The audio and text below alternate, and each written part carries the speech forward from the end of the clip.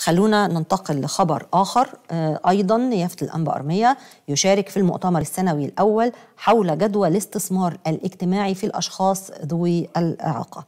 والحقيقة أن ده أمر برضو جيد جدا التعامل اللي الدولة بتتعامله مع الأشخاص يعني بنقول عليهم أصحاب الهمم أو بنقول عليهم القادرون باختلاف على أنهم طاقات يجب الاستثمار فيها وفي نتائج لهذا الاستثمار. افتتحت السيدة نيفين القباج وزيرة التضامن الاجتماعي فعاليات المؤتمر السنوي الأول الذي تنظمه الوزارة حول جدوى الاستثمار الاجتماعي في الأشخاص ذوي الإعاقة والذي يستمر على مدار يومين بمقر وزارة التضامن الاجتماعي. شهد المؤتمر نيافة الأنبا أرمية الأسقف العام رئيس المركز الثقافي القبطي الأرثوذكسي. وبحضور الدكتور عبد الهادي القصبي رئيس لجنة التضامن الاجتماعي والأسرة والأشخاص ذوي الإعاقة بمجلس النواب. والدكتور طلعت عبد القوي عضو مجلس النواب ورئيس الاتحاد العام للجمعيات الأهلية وأعضاء مجلس النواب.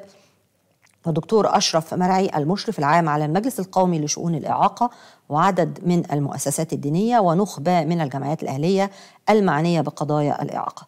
أشادت الدكتورة نيفين القباش بدور المركز الثقافي القبطي الذي كان له دور كبير في دعم ذوي الإعاقات وأن فكرة مؤتمر جدوى الاستثمار الاجتماعي في الأشخاص ذوي الإعاقة بدأت منذ الفترة الأخيرة من 2020 وتم تأجيله أكثر من مرة بسبب جائحة كورونا لافتة إلى أن الاستثمار في ذوي الإعاقة ينتج عنه الكثير من العوامل التنموية قالت وزيرة التضامن.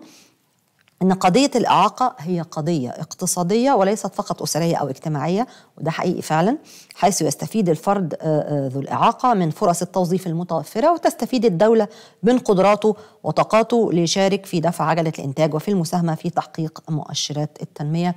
وأخيرا يشعر المواطن القادر باختلاف إنه بيعامل على إنه مواطن له طاقة وإن الدولة لما بتشغله مش بتشغله إحسان ولا بتشغله علشان خاطر يعني أهو بدل ما هو قاعد آه لا شغاله لأن هو طاقة ولأن عنده إمكانيات والحقيقة إنه فعلا آه كلهم بيبقى عندهم إمكانيات وطاقات مختلفة.